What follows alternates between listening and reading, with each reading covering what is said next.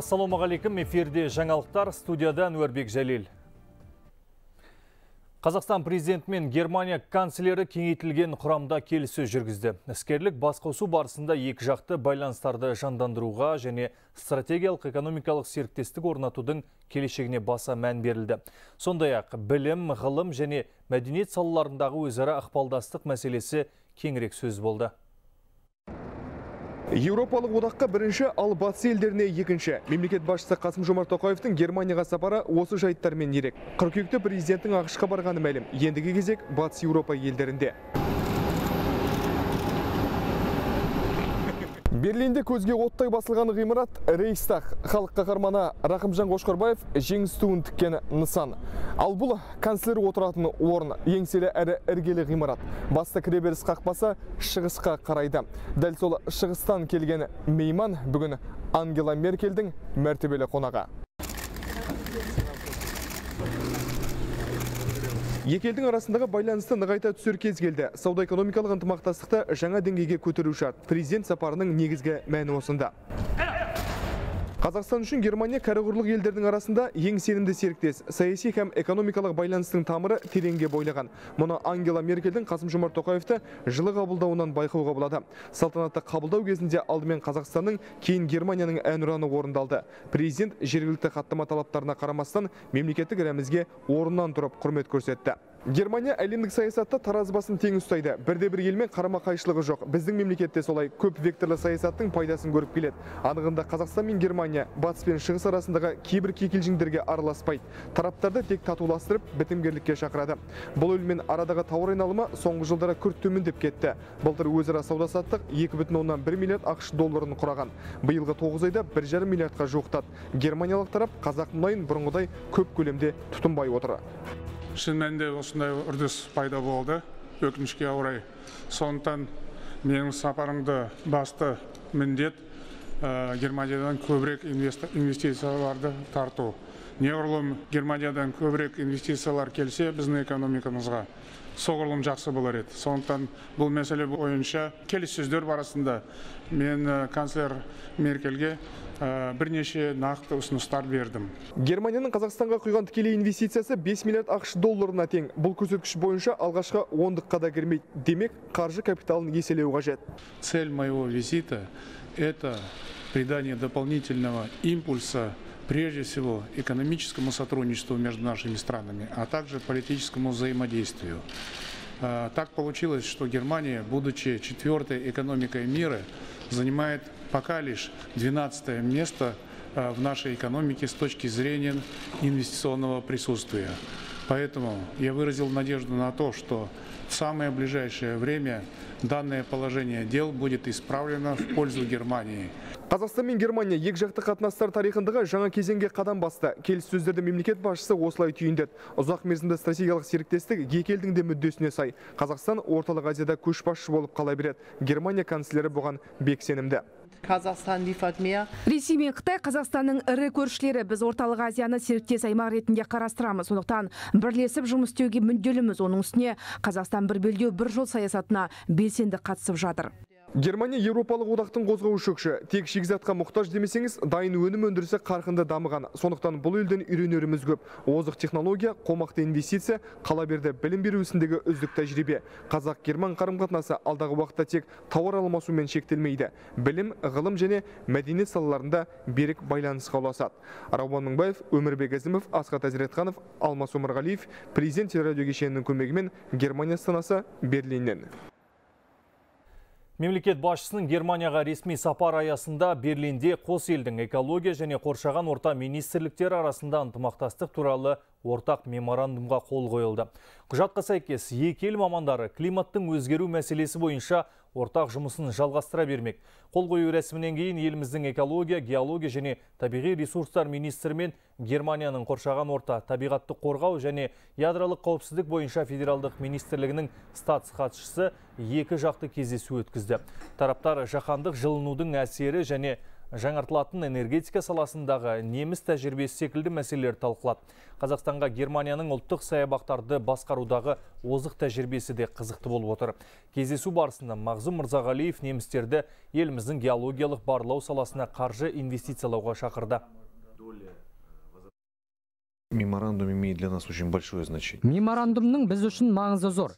Өйткені жаһандық жылыну климаттың өзгеруімен күрес жүргізуге қатысты сұрақтар бойынша германия жетекші елдердің бірі саналады. Меморандум аясында неміс тарабы бізге сарапшылардың көмегін ұсынады қаржы бөледі. Бұл кешенді жұмыс. Оның барысында біз экономиканың барлық тармағын зерттейтін боламыз.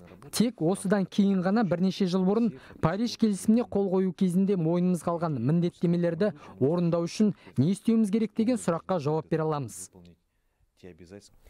Бүгін еліміздің премьер-министрі Асқар Мамин, тұңғыш президент елбасы Нұрсұлтан Назарбаев пен мемлекет басшысы Қасым Жомарт Тоқаевтың Шымкент пен Түркістан қалаларын дамыту жөніндегі тапсырмаларын орындау бойынша өңірге жұмыс сапарымен барды. Үкімет басшысы онда инвесторлардың көмегімен ашылған тоқыма және тамақ өнімдерін шығаратын кәсіпорындарды іске қосты. Түркістан қаласында салынып жатқан бір қатар нысанның іргетасын қалады.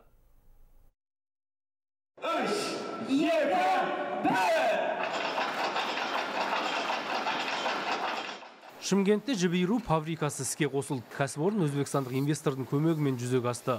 Өндіріс орнының ашылу салтанатына қатысқан премьер министр асқар мамин аталған өндірістік кәсіпорын елдің тоқыма саласы үшін маңызды мәнге екенін атап өтті. Өздеріңізге белгілі бұл кәсіпорын көп жылдар бойы тоқтап тұрды. Инвесторлармен бірлескен жұмыс нәтижесінде бұл фабрика қысқа уақыт аралығында іске қосылды осы ретте өзбекстандық әріптестерімізге ынтымақтастығымен бірлескен жемісті жұмыс үшін алғысымды білдіремін хотим сейчас работать вот в Казахстане. Почему выбрали? Қазақстанды таңдауымыздың себебі бізге жақын орналасқан. Халқымызда ұқсастық бар, климат келеді. Сондықтан бізге мұнда жұмыс жасау қолайлы әрі жеңіл дер едім. Жіп иіру фабрикасы толығымен өз жұмысын бастады. Алдағы уақытта мұнда 120 адам тұрақты жұмыспен қамтылмақ. Осыны қосып бізді жұмыссыз қалдырмай әйтеуір бастап мына жұмыс істеп жатырмыз енді. Рахмет айтамыз. Мен мынау ленточный ленточный дейді бізде енді соны істеймін осы оператор болып осы машинада. Долгие годы ұзақ жылдар біз осы кәсіпорынға инвестор тартуды қарастырдық. Фабриканы аяқтан тұрғызып жұмыс орындарын ашуды ойластырдық. Ташкентте өткен екі жақты ынтымақтастық жөніндегі бірлескен үкіметаралық комиссияның отырысында өзбекстандық тараппен бірлескен тоқыма кластерін құру мәселесін қарастыру қажеттігі жайлы келісімге қол жеткізілді. Кәсіпорында жылына 6000 тонна мақта талшығы өңделеді. Фабрикаға шикізатты жергілікті түркістан облысының шаруалары тасымалдайды. Сапар аясында үкімет басшысы қазығұрт ауданы майлы ошақ ауылында орналасқан фастфуд өнімдерін шығаратын зауыттың ашылу салтанатына қатысты. Ең жылдам пісетін кеспе өндіретін кәсіпорынның инвестициялық құны бесте жеті миллиард теңге және мұнда үш жүзге жуық жаңа жұмыс орны ашылады. Өнім көлемі жылына төрт жарым мың тоннаны құрайды. Дайын өнімді ішкі және сыртқы нарыққа шығару жоспарлануда. Айта кетейік соңғы жылдары түркістан өңіріне жеке инвесторлардың қызығушылығы артып отыр. Шетелдік кәсіпкерлердің көмегімен мемлекеттік жекеменшік әріптестік аясында салынып жатқан осы әлеуметтік өндірістік нысандар соның айғағы. Одан кейін асқар ұзақбайұлы түркістан қаласында инвесторлардың көмегімен бой көтеретін 630 орындық облыстық көпсалалы аурухана мен туристік кешен керуен сарайдың іргетасын қалау рәсіміне қатысты. Облыстық аурухананы түрік инвесторлары мемлекеттік жекеменшік әріптестік аясында салып 2022 жылы пайдалануға бермек. Нысанның құны 100 миллиард теңге. Мұнда 1700 жаңа жұмыс орны ашылады. Оның ішінде 350 дәрігер жұмыс істейді. Ал керуен сарайдың жобалық құны 39 миллиард теңге. Оны да түрік компаниялары жүзеге асыруда. Bir gün. Бүгін біз үшін тарихи күн, туристік бағыттағы ерекше нысанның іргетасын қаладық. Бұл ғимарат халықаралық талаптарға сай жабдықталады. Жергілікті халықтың ерекшеліктерін сақтай отырып, ұлттық нақыштарға бай ерекше жоба болмақ. Өзінің сәулеттік артықшылықтарымен ақ аймақтағы туристік орталыққа айналады сондай ақ үкімет басшысы түркістан қаласында салынып жатқан бірқатар нысандарды аралап көрді. Оның ішінде амфитеатр драма театр облыстық ғылыми әмбебап кітапхана ұлы дала елі орталығы мен қожа ахмет яссауи мұражайы және ұлттық қолөнершілер орталығының ғимараты бар. Сапар соңында премьер министр өңір басшысы мен құрылыс компанияларының жетекшілеріне салынып жатқан нысандардың сапасы мен белгіленген мерзімде толық аяқталуын қадағалауды тапсырды. Жандос жұмабек ерболат әбіш самат нағашбекұлы хабар жиырма төрт түркістан облысынан. Қазақстан өткен жылдарда заң шығаруды сапалық тұрғыдағы жаңа деңгейге шығарды. Дегенмен, Аталмыш процесс үнемі жетілдіруді талап етеді. Бұл туралы заң шығару процесін жетілдіру жөніндегі кеңестің алғашқы отырысында айтылды. Жиын парламент сенаты төрағасының орынбасары Бектас Бекназаровтың төрағалығымен өтті. Жоғары палата депутаттарының пікірінше кеңестің жұмысы заң шығару процесін жетілдіру жөніндегі жұмысты күшейтуге мүмкіндік береді. Отырыста кеңес төрағасының орынбасары болып, конституциялық заңнама, сот жүйесі және құқық қорғау органдары комитетінің төрағасы Владимир Волков тағайындалды. Ал хатшылықты парламент сенаты аппараты басшысының орынбасары Марат Уақпаев атқаратын болды. Я,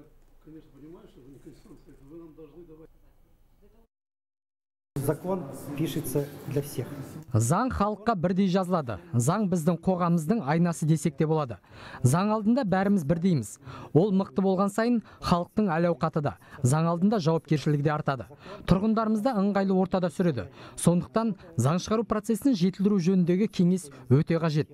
Оның құрамына сенат депутаттары бірқатар министрліктер мен қоғамдық бірлестіктердің өкілдері белгілі құқықтанушы ғалымдар кірді.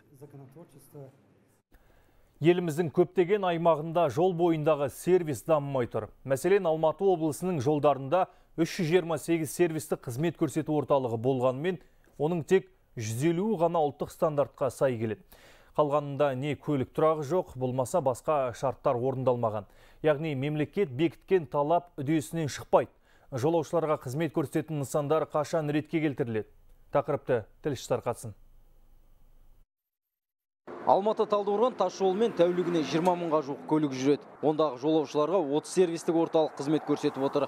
Соның басым бөлігі ұлттық стандартқа сай келеді екен. 2017 жылдан бастап сол 30 жол бойында сервистің жартысы ғана, яғни 15 бірлігі ғана ұлттық стандарт талаптарына сай келген енді 2017 жылдан бастап жергілікті атқару органдарымен облыстық мәслихат депутаттарымен мынау төтенше жағдайлар департаменті бар департамент экология департаменті бар. Солармен бірігіп мердігер компаниямыз казахавтодор мекемесімен бірігіп ай сайынғы жыл сайынғы рейдтер жүргізіп отырамыз. Соның нәтижесі ретінде 2019 жылға біз 25 бірлікке дейін жеткіздік. Яғни 80 пайыздай ұлттық стандартқа сай. Сервистік қызмет нысандарына көлік жөндейтін тұрақтар мен қоғамдық дәретханалар да жатады. Күре жолдың бойында олардың 42-сі тұр. Жолаушылар сол қажеттілік орындарының күтіміне көңіл толмайтынын айтады. Дәретханалар салып қойыпты. Онысы дұрыс қой деп кіріп көрген тазалық жоқ. Таза емес десек те болады. Өйткені аяқпен баса алмайсың. Асты іші толып кеткен. Жолды алғаш салғанда әкеліп қойған төлеттер ғой бұлар. Енді кішкене осыны тазалап ұстайтын адам болса бұл дәретханалар алдағы уақытта алынып тасталмақ. Оның орнына әрбір елу шақырым сайын санитарлы гигиеналық нысандар тұрғызылады. Соның алғашқысы былтыр арқарлы асуына қойылған болатын. Модульді абаттандырылған дәретхана тәулігіне 24 сағат жұмыс істейді. Бұның ішінде жылы дәретхана суымен светімен екінші, екінші дәретхана мүгедектерге арналған. Арбамен немен кіріп шығуына болады. Екінші жағында отырып тамақ ішіп кофе шай ішіп жылынып алуларына мүмкіндік бар. Жол бойындағы сервистік қызмет көрсету орталықтар төрт санат бойынша тексеріледі. Барлығында көлік тұрағы дүкен демалыс орны болу керек. Осының біреуі жоқ болса нысан талапқа сай емес деп есептеледі. Алматы облысындағы 178 сервистік қызмет көрсету орталығы талапқа сай емес. Сала мамандары алдағы екі жылда олардың барлығын ұлттық стандартқа сәйкестендірмек. Ал жаңадан салынатындарын өңірде құрылған арнайы жұмыс тобы бақылайтын болады. Шыңғыс қалиден олжас байбосынов хабар 24 алматы облысынан Ақмола облысында 180-нен астам жол бойындағы қызмет көрсету нысаны бар. Олардың басым бөлігі жанармай құю бекеттері мен дәмханалар. Бұл да жақсы. Бірақ күре жолдардың бойында жолаушылар қажетін өтеп, жуынып шайынатын арнайы орындар саусақпен санарлық. Мәселен, ел орда мен Бурабай арасында небәрі алтақ заманауи санитарлы гигиеналық нысан бар. Ал жанармай бекеттерінде әжетханалар болғанымен олардың көбі жолаушылардың кіруіне рұқсат ете бермейді. Сондықтан жұрт ешқандай талаптарға сай келмейтін сырттағы әжетханаларға баруға мәжбүр. Жауаптылар қазір бұл мәселені оң шешуге тырысып жатырмыз дейді. Тіпті далада орналасқан дәретханаларды сүріп тастап, орнына осындай заманауи нысандар салуда қарастырылып жатқан көрінеді. Ал жаңадан іске қосылған тас жолдардың бойында енді ондай проблемалар болмайды дейді мамандар введена в сентябре месяце. Осы жылдың қыркүйек айында іске қосылған Щучин Зеренді тас жолының бойына жақында бір санитарлы гигиеналық бұрыш қойылды. Алда уақытта осы жолды жағалай жолаушыларға қызмет көрсету нысандарын салуды жоспарлап отырмыз. Ондай орындар әсіресе Қараүңгір көлінің маңайына көптеп қажет. Себебі ол жер туристердің сүйікті демалыс аймағы.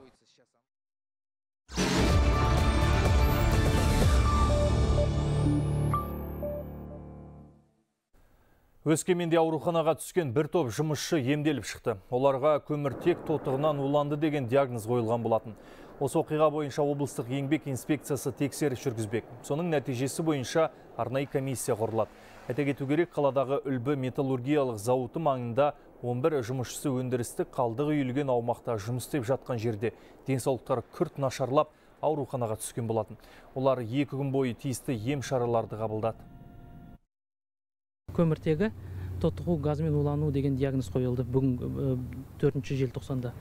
Қазіргі таңда мемлекеттік инспекция басқармасымен шығыс қазақстан облысының прокуратурасының тапсырмасымен хозуправление ускомегорского жауапкершілігі шектеулі серіктестігінде тексеру жұмыстары басталып нәтижесі бойынша қосымша берілетін болады. Жүрегіне ем іздеген науқастардың басқа ауру жұқтырып алуы мүмкін бе? Павлодардың кардиологиялық орталығын республикалық комиссия тексеріп жатыр. Себебі емдеу мекемесінде бір реттік медициналық аспаптар қоймас табылған.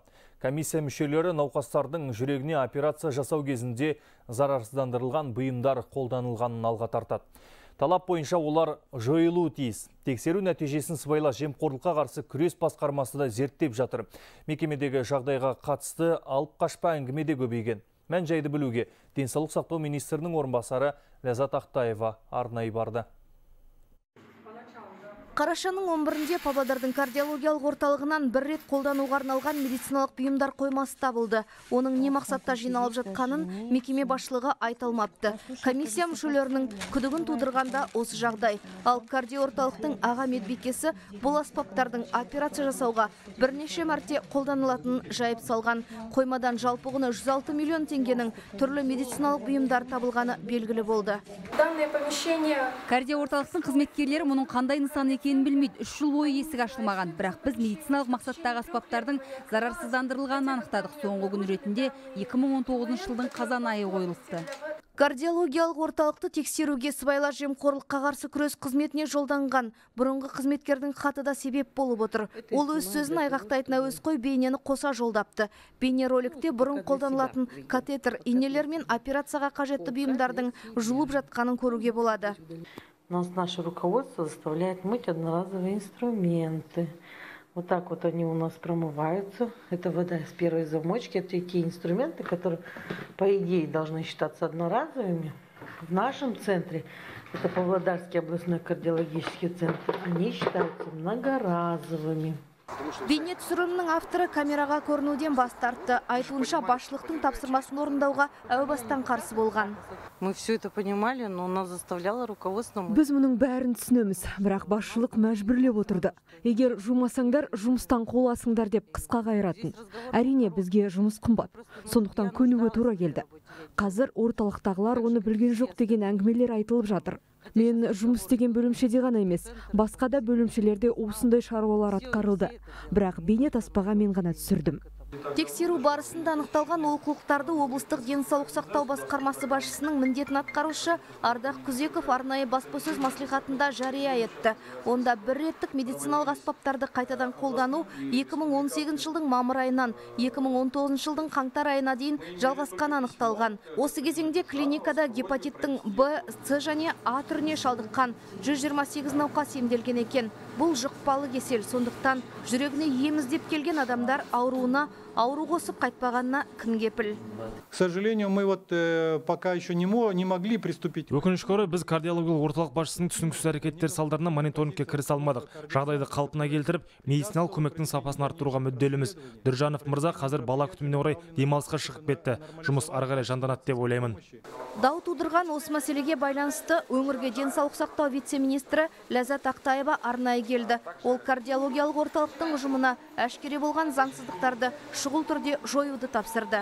Безусловное соблюдение санитарно-эпидемиологических требований. Санитарлық эпидемиологиялық талаптар қамтамасыз етілуі керек. Егер оларға жол берілсе шұғыл түрде жойылуы тиіс. Егер бұйымдар бір рет қолдануға арналған болса оны көп рет қолдануға болмайды. Медицина үшін санитарлық эпидемиологиялық талаптардың орындалуы негізгі талаптардың бірі. Бірақ бұл оқиғаның шын мәнінде болған болмағаны дәлелденуі қажет. Басталған істі аяғына дейін жеткізу құқық қорғау органдарының құзырында. Ал сыбайлас жемқорлыққа қарсы күрес қызметі кардиологиялық орталықтағы келеңсіздіктерді растап отыр. Емдеу мекемесіне жүргізілген тексеру нәтижесімен мемлекеттік аудит және қаржылық бақылау ұйымы да танысу үстінде.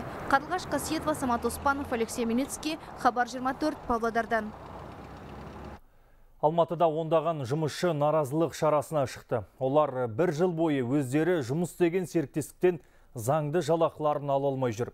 Ал компания басшылығы әнеміне береміз деп халықты құрғақ уәдемен алдап келеді. Алмас Сәдуақас ашынған жұмысшылармен кездесіп қайтты. Сәрсенғазы Ерікбаев жарты жыл бойы өзіне қарыз компаниядан ақшасын даулап келеді. Көпір құрылысында 6 ай уақыт жұмыс істеген жөнінде тиісті құжаттары бар. істеген қағазым да бар мысалы міне шымбұлақ 25-те міне декабрь январь несінде істеген қағазым да бар мысалы менде ешқандай нем жоқ.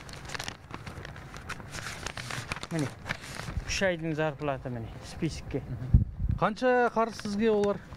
Маған жүз мың қарыз. Жүз мың ба? Мына екі жүз қырық бес деген не ол? екі жүз қырық бес болғанда декабрьдікін берген мынау екі айға қалып тұр. Жүз мың теңге Иә, берген жоқ иә, иә. сонда қанша уақыт тегін сіз? Мен енді үш ай істедім ғой. Иә? Бәрімізде бар кредит. Оны немен төлейміз? Ақша күтеміз ақша әне міне деп әлі жүр әне міне әне міне ертең бүгін келесі айда деп міне бір жылға түсіріп тастады Компания басшылығы бұл жұмысшыларға күзде қарыздарын өтейміз деп уәде берген, бірақ бүгін ертең деп әлі күнге дейін көк тиын де төлемепті. Олармен кездесуден қашат. Серіктестіктің Алматы мен Алматы облысында құрылыс нысандары бар. Мысалы, Алматыдағы Рысқұлов көшесінде салынып жатқан жол айрығының құрылысы тоқтап тұр. Мына көпір петробарскілі көпір тоқтап қалды ғой. Осы көпірді неге тоқтап тұрғанын жұмысшылар неге істемей жатқанын жалақысын ала алмай жатыр. Соны сағынтаев мырзаның құлағына жеткізу керек. Үкімет осыған кішкене қарап тексеріп барлығын. Кім жұмыс істемей жатыр зарплаттарын алмағандардың зарплатасын бергізіп фирманы вообще жауып тастау керек. Басқа фирмаға беру керек жұмысты. Жұмысшылардың арыз шағымдары бойынша Алматы облыстық прокуратурасы арнайы тексеріс жүргізген. Нәтижесінде компанияның қызметкерлері алдында 142 миллион теңгеден астам қарыз бар екені анықталды. үш айдан ары қарай уже әрине ол жерде егер оның еңбек жұмысшылардың еңбек ақысын өзінің жеке басына пайдаланған жағдай дәлелденсе онда оған уже қылмыстық іс қозғауға да болады. Жүз елу екінші бап бойынша. Қай кодекс қылмыстық. Кодекс ал біздің қарастыратынымыз әкімшілік іс кодекс бойынша сексен жетінші бап ол жерде айыппұл қарастырылған жұмыс берушіге Ал компания басшылығынан сұхбат алу мүмкін болмады. Кеңселеріне тығылып алып есікті ашпайды. Көпір құрылысына маманданған бұл компания жалпы 400-ден астам жұмысшының жалақысын толық бермеген. Шыдамы таусылған халық бұл мәселеде әділдік орнамайынша наразылық шарасын жалғастыра бермек. Алмас Садуақас, Радик Жақыпов, Хабар 24, Алматы. Қостанайда 80-ге жуық отбасы үш жыл бойы баспанасын ала алмай жүр. Миллиондаған қаржы құйылған компания құрылыс жұмыстарын 2016 жылы аяқтаймыз деп уәде берген. Ал іс жүзінде тұрғын үй әлі тапсырылған жоқ. Үй алуды армандаған үлескерлермен тілшіміз тілдесіп қайтты. Қостанайдың қақ ортасындағы мына құрылыс нысаны 80-ге жуық отбасының басын қосты. Армандаған үйін ала алмаған тұрғындар құрылыс алаңына ай сайын жиналады. Алайда болашақ баспанасынан үміт үзгендер де бар. Многие уже устали. Көпшілігі күте-күте шаршады. Осы үйге салымшы болғандардың тағдыры саналуан. Бірі басқа жаққа көшіп кетсе, енді бірі өмірден өтті. Балалары дүниеге келгенде қаржы құйғандар да бар. Қазір ол балалар мектеп бітірді. Ал біз әлі үйімізді ала алмай жүрміз. Құрылыс компаниясы да жергілікті билік өкілдері де бұл үйдің жақын арада аяқталатынын айтқан. Алайда ұзақ жылдар бойы берілген уәде орындалмады. Сондай ақ салымшылар пәтерлердің бір емес, бірнеше мәрте сатылғанын анықтаған. Ал үйдің қазіргі түрі бастапқы жобадан өзгеше болып шыққан. Бірақ қала тұрғындары бұған да көнуге дайын. Тек үйді тапсырса болғаны. Терпение у людей заканчивается. Адамдардың төзімі таусылды, жүйкеміз әбдені жұқарды. Құрылыс компаниясының жауапкершілігі жоқ. Келісім шарттағы талаптарды орындамаса, оған қарсы санкциялар қолдану керек. Негізінде құрылыс компаниясына қатысты бірнеше рет санкциялар қолданған. Мекеме құрылыс нысанын тұрғызғанда жіберілген қателіктері үшін әкімшілік жауапкершілікке тартылған. Қазір компания өз кінәсін мойындап отыр. Үйдің уақытында тапсырылмауын олар 4 жыл бұрын ауысқан доллар бағамымен байланыстырады. Ал баспана келер жылдың басында беріледі деп сендірді. На сегодня привлечено Бүгінгі таңда 300 миллион теңге тартылды. Ғимараттың қаңқасын көтердік. Шатырдың жоғарғы жағын аяқтап жатырмыз. Яғни қазір енді су өтпейді. Жыл қосылғанда үйдің ішін кептіріп, жұмыстарды жалғастырамыз. Баспана мәселесі баспасөз беттерінде бірнеше рет айтылды. Аяқталмаған құрылыс нысанының ертеңі жайлы жергілікті билік өкілдерінен тағы да сұрап көрдік. Я там на стройплощадке был много раз. Мен құрылыс алаңында бірнеше рет болдым. Бүгінгі таңда жұмыстың 99,9% іске асырылды. Мұнда адамдар түсіністікпен қарат деп айтуға болады. Әрине шағымдар болды. Бірақ біз барлық арыздар бойынша жұмыс істедік. Нақты мерзімін айта алмаймын. Бірақ жақын арада үй пайдалануға беріледі. Түрлі уәдені естіген үлескерлер бұл сөзге де сенбей отыр, бірақ амал жоқ, үмітті де үзбейді. Ғазиза Мұхамеджанова, Данияр Сұлтанұлы, Ермек Мұхамедияров, Хабар 24.